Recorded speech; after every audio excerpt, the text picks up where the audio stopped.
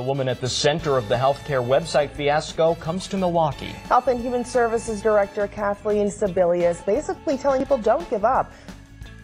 Her Health and Human Services Department was in charge of creating that website. Obamacare website not, not working out too well. The website, does it indeed work? And if it doesn't, when will it work? Well, actually, the website has worked all along. Too often, the website hasn't been working. It crashed over the weekend due to a series of glitches. The website has worked all along. The site has experienced numerous problems, many problems. It has not worked well quickly. I have tried every day since October 1st to enroll. I'm now putting in my county for I think the fifth time. The website has worked all along. Let's not beat around the bush. It is awful. Only seven people from this center have signed up for Well, the insurance enrolled plans. Enrolled. at this point, I don't think that's surprising.